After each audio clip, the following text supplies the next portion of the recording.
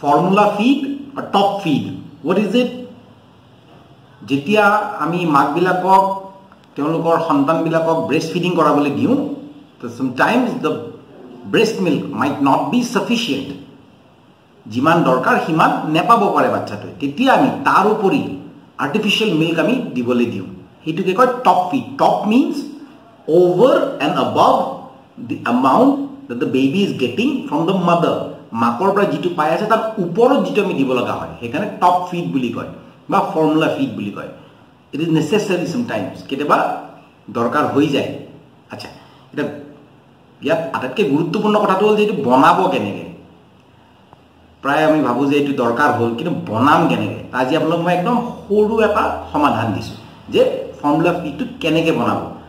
কিনি আনিলে তাতে কিবা কিবি আপোনাৰ দিয়া তাত আপোনালোকৰ ডিৰেকশ্যন থাকিব but what is the best way to make the formula feed I will show' you simple way first of all আপোনালোকে কি ল'ব? বাতি বাউল চামুচ spoon and a syringe a new syringe then what you do তাৰপিছত কি কৰিব আপোনালোকে? গৰম পানী বনাই পেলাই থ'ব। গৰম পানী বনাই থোৱা সেই পানী আপোনালোকে তাৰ কেপটোত লৈ ল'ব আই এম শ্বয়িং ইউ আ চিম্পল ৱে কিতাপত বহু ধৰণৰ ৱেজ থাকে মই প্ৰেক্টিকেল ৱে এটা দিছোঁ আমি ইয়াতে পানীটো ল'লোঁ লৈ পেলাই ইয়া one thing remember that these all utensils should be clean and your hand should be washed কি কৰিব this is the syringe of this call a ten C C syringe so' what will do is will take the water that's been boiled and then allowed to cool down will take 10 ml water and you pour it in the bowl 10 ml পানী ললে বাতিটোত দি দিলে do this three times তিনিবাৰ কৰিব আপোনালোকে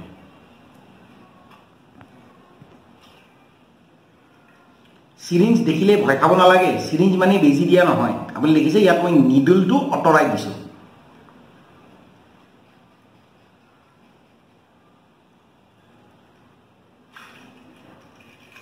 Okay so' this is thirty M L thirty M L আমি ল'লোঁ।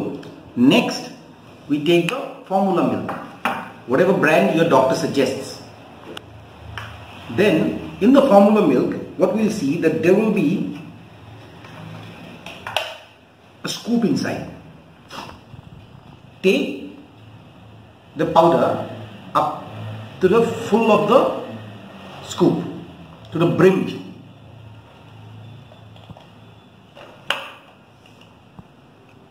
Now, as you can see, I have taken it to the brim.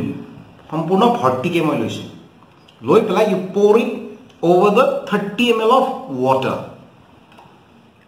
then close it so' that no' dust particles can enter the milk container. After that, you mix the water and the milk powder. এনেকৈ ধুনীয়াকৈ তাক mix কৰিব so that there is no solid particles left behind. Proper mixing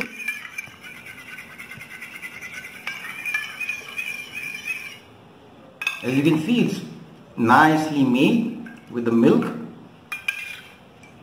being clear and there is no solid particle. কোনো ইয়াত গোটা বস্তু আমাৰ থাকি যোৱা নাই তাৰপিছত feed the baby with the spoon আৰু যদি আপোনালোকে চামুচেৰে নোৱাৰে feed the baby with the syringe Now normally the baby can hold up to 10 ml in a single feed. So first go up to 10 ml slowly 10 ml মানে দুচামুচ লাহে লাহে খুৱাব তাৰপিছত ৰখিব।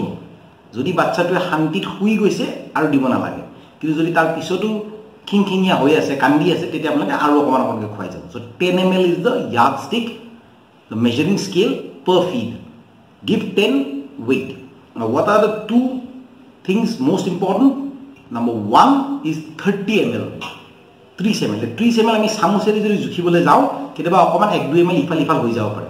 So' better use the syringe Next is 1 scoop of the formula milk. 30 ml, 1 scoop. এতিয়া যদি আমি তাতকৈ আমি যদি হিচাপটো ভুল কৰোঁ কি হ'ব? আমি যদি পানী বেছিকৈ লওঁ if you take more water that's why I am saying take the syringe তেতিয়া কি হ'ব? বেছি পনীয়া হ'ব। তাৰমানে বাচ্ছাটোৱে লাগতিয়াল খাদ্যখিনি নেপাব পনীয়া গাখীৰ পাব। তাৰ গ্ৰ'থটো কম হ'ব ক্ষীণাই যাব দুৰ্বল হ'ব।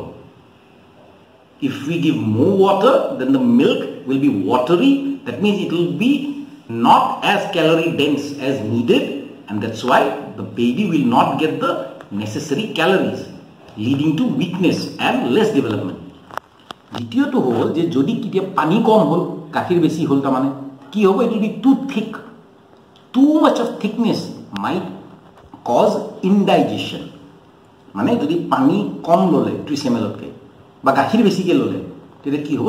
ঠিক হ'ব গোটা হ'ব। আৰু গোটা যদি হয় তেতিয়া ইনডাইজেশ্যন হোৱা চান্স থাকে। শৌচ বেছিকৈ হোৱা চান্স থাকে। বেয়া শৌচ হোৱা চান্স থাকে। But whatever is said and done final thing that we should all remember is breast milk is number one these are all supplementary foods encourage breast milk. If the baby is not satisfied or the hunger is not satisfied with breast milk, then give this. This should not be the primary source. Breast milk should be the primary source. No two ways about it. Period. This is supplementary. Your child is the future and one more thing. Only taking care of the child will not do. Take care of the mother too a healthy mother only can take care of the child. And all you fathers, your country and your child and your family and your society deserves a fitter you.